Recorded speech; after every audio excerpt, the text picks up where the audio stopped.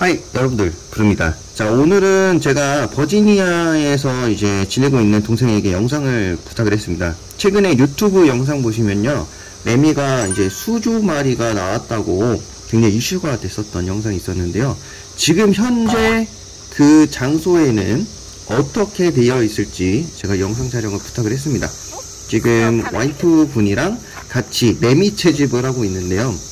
진짜 실제로 길거리에는 매미들이 거의 이제 인부들이 많이 청소를 하고 제거를 해서 없어서 근처 공원이나 근처 이제 나무가 있는 작은 야산 같은 데 가면은 매미를 많이 볼 수 있다고 합니다.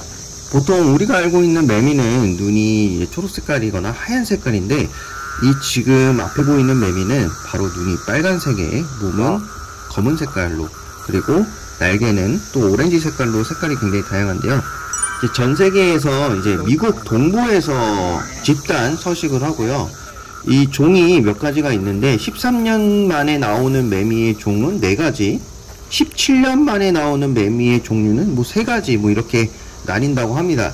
지금 지역별로 그리고 종류에 따라서 연도에 따라서 이렇게 그래서 미국에서는 매미가 어디 어디 출몰할 것이라는 예상표를 만들어 놓았더라고요. 지금 잠시만 했는데도 굉장히 많은 친구들을 채집을 할 수가 있었고 뭐 5분만 해도 매미들이 잘 못 날아다니는 매미들도 많이 발견할 수 있었다고 합니다.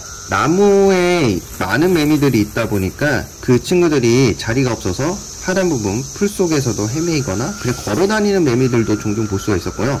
확대를 해보면은 이런 식으로 나무 가지나 줄기에 엄청나게 많이 붙어 있다고 합니다. 그리고 이건 충격적인데 처음에는 구멍이 땅이 별로 없었는데 엄청 많이 생겼다고 해요. 이게 다 매미들이 나온 구멍이에요.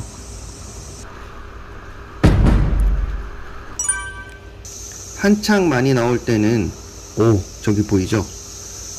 와 그냥 메뚜기처럼 애들이 그냥 풀 속에 많이 붙어 있는 모습을 많이 볼 수가 있는데 이 친구들이 또 놀라운 비밀이 하나 있었더라고요. 그것은 좀 뒤에서 나오는데 지금 걸어 다닐 때마다 사체들이랑 매미들이 메뚜기처럼 엄청 날아다닌다고 합니다. 처음에는 엄청 많았는데 많이 치우기도 했고 새와 청설모 친구들이 굉장히 많은 포식을 하는 모습을 직접 볼 수가 있었다고 합니다. 이 친구도 현재 이렇게 대량 발생한 매미 친구들을 이게 브로드라는 이 친구들을 처음 보게 되었고요.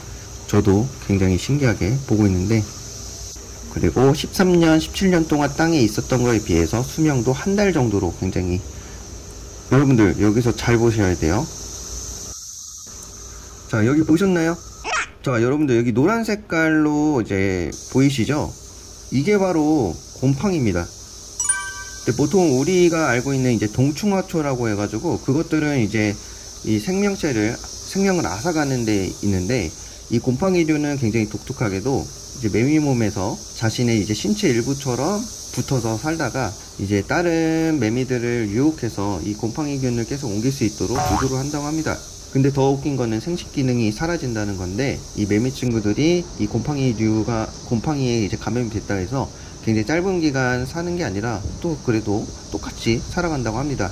똑같이 오름소리로 되고 똑같이 짝짓기도 하려고 한다고 합니다. 그러면서 계속 감염을 시키는 건데 이 친구들은 땅 속에 있을 때부터 이 균이 계속 감염이 돼 있다고 해요. 이렇게 뉴스가 예전에 나올 정도로 굉장히 신기했던 건데 이번에 17년 동안 땅 속에서 살아가는 이 매미들이 대량 발생하는 이유 중 하나가 첫 번째로 생존율이라고 하는데요. 생존율을 높이기 위해서 단체로 나와서 짝짓기 하고 다른 천적들에게 잡아먹히고 등등 어떻게 보면은 큰 재앙인 것 같은 그런 상황이 연출이 됐던 거 아닌가 싶습니다. 와, 여기도 곰팡이 균에 감염이 된 매미가 땅에 떨어져 있네요. 소리가 좀 제법 컸는데 마지막으로 짝짓기 하는 매미 친구로 영상을 마치도록 하겠습니다. 끝!